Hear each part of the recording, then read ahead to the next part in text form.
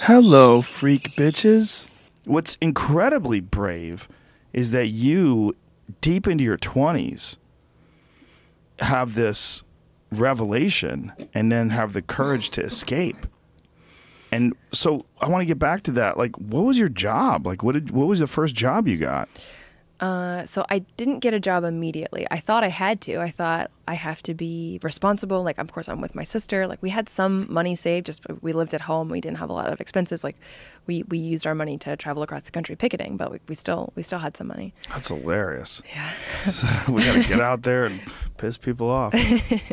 well, we, and it was it was I thought it was the greatest. Like I thought like uh, it was always exciting. Like oh, are you going on this picket trip? Yeah, I'm going to Los Angeles. Oh We're my god! So it was just like a part of life. Yeah. You guys used to picket Scientology.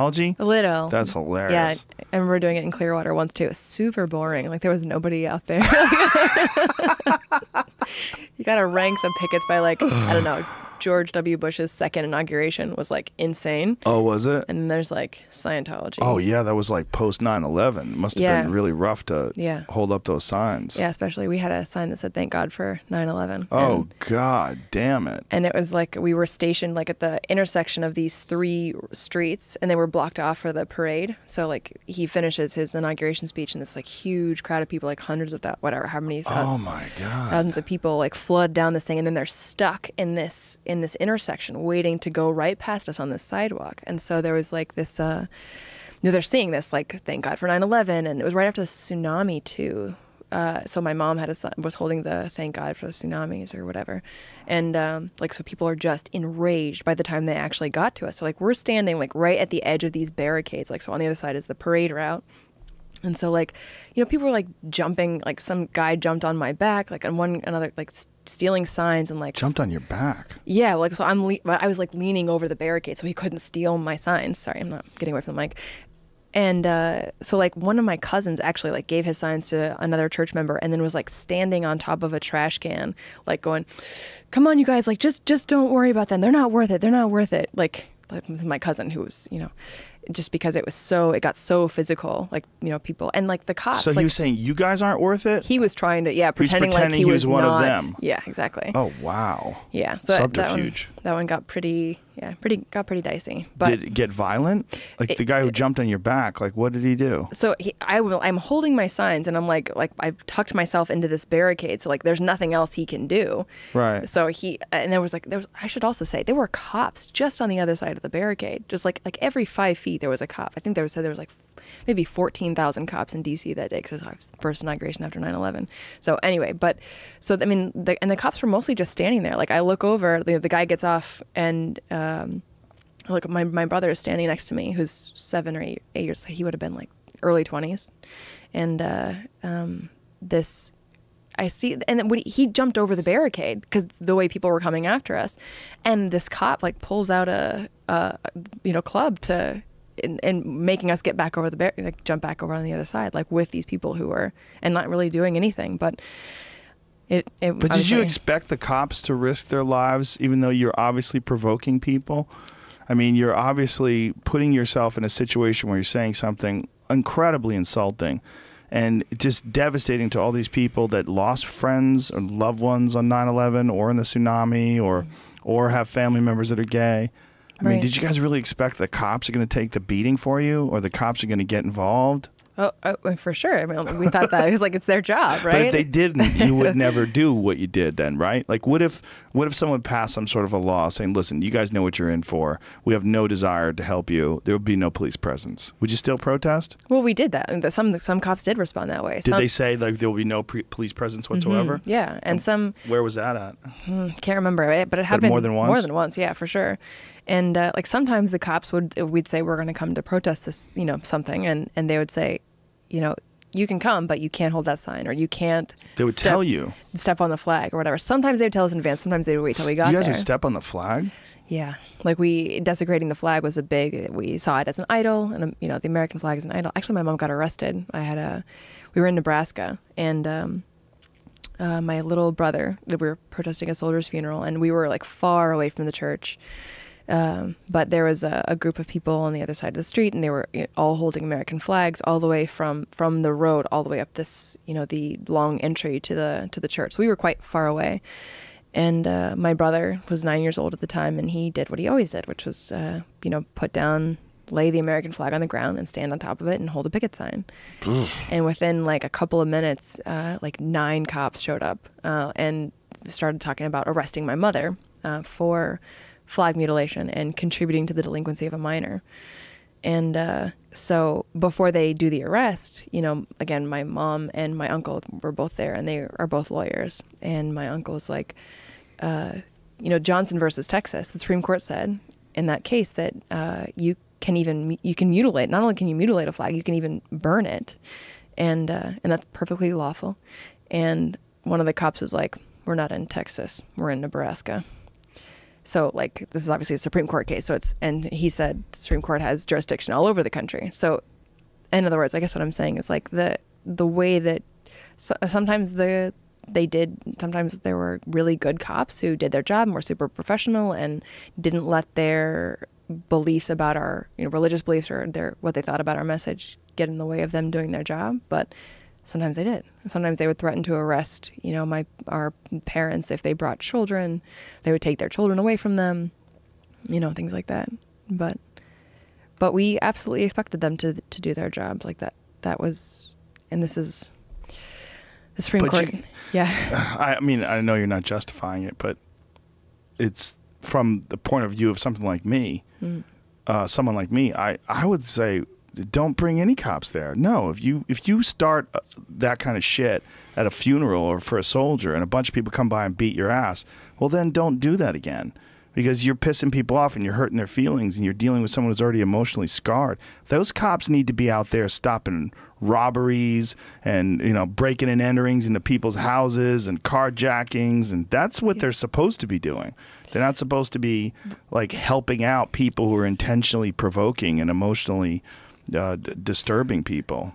Right, but I mean, so obviously from the church's perspective, it's like this. It's these are sincerely held religious beliefs, and Right. the First Amendment. Like, what good is the First Amendment? Like, eh, this obviously this. Uh, But it's not a First Amendment issue, like the but because the it's no one in an official position is saying you cannot speak. well, so uh, compare that to like the campus. What's going on on these campuses, right? Where, Right. uh, So you think that the cops shouldn't be there to protect those people? Well, they're they're provoking people and making them angry.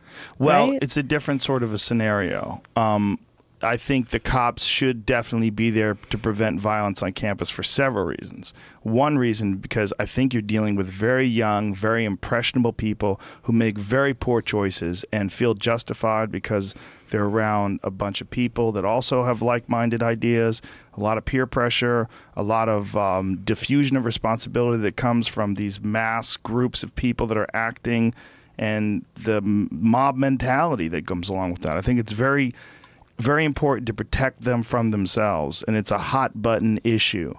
I think protesting at a soldier's funeral is just gross. I agree with you. Yeah, I mean, I know you do. Yeah. I know you do. I mean, but I'm just saying, like, I don't think the cops have a responsibility to save you from being gross.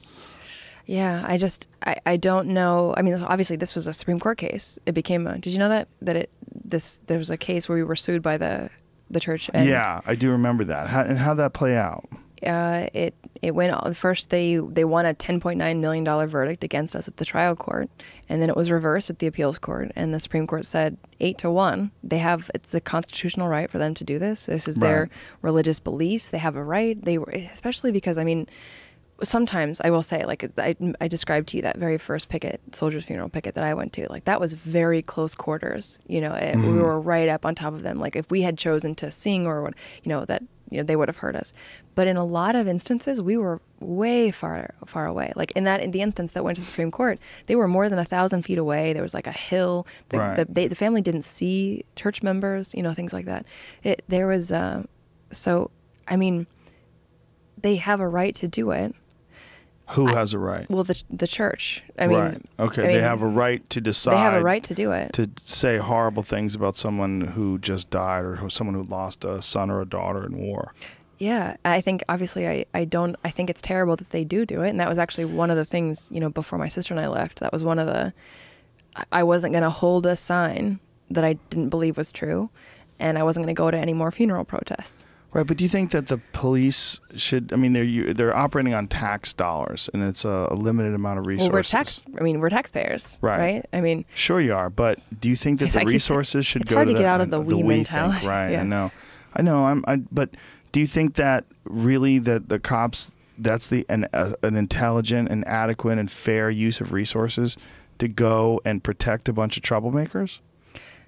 So it, depends on what how do you how do you feel about the First Amendment? Like the, it's it's it's the principle of the thing rather than the applications. Like this Mm-hmm. Right. is just one application. Like so So who's to decide whether exactly or not it's that's right? that's the whole idea. Like so who what we have not entrusted our government to decide what opinions are acceptable and what aren't. So they they don't they they don't get to have like so Right, but it seems like you're organizing this. So if you you're mean? organizing this sort of uh, antagonistic display where you know you're going to hurt We know someone's feelings make in a very mad. dangerous time, right. don't you think you should hire your own security? Like, why should the police have to be there to secure you?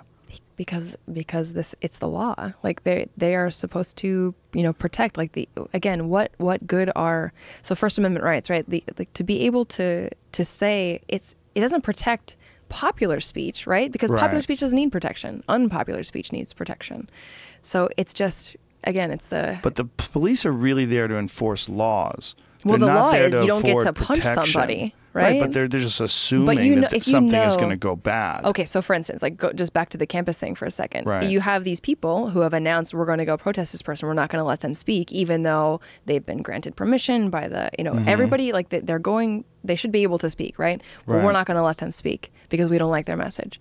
So if the cops know that that's going to happen, like so, so what happens? Like I'm just trying to They don't do anything this. about it. They let them shut it down. Um, but I'm saying I, I think that's wrong. I think they they should be able they should go and like so this is what So you they, think the a cops should be heckler's able veto to- is what it's called, right? I think in in, in like the, the cops can't say, well, obviously this is still back to like, it's not if the cops say. Well, you can't speak because you're likely to cause a riot or people to, you know, some some kind of disturbance. Like they're not allowed to do that based on like if it's just this is religious opinion. We weren't saying we want you to hurt us. We're not trying to provoke you to hurt us. We're trying to deliver this message that we think is the truth of God, right? So it wasn't there's a difference between like deliberately provoking and inciting violence, like deliberately inciting violence and what we were doing which was, you know, trying to pr- proclaim this message that we thought was the truth.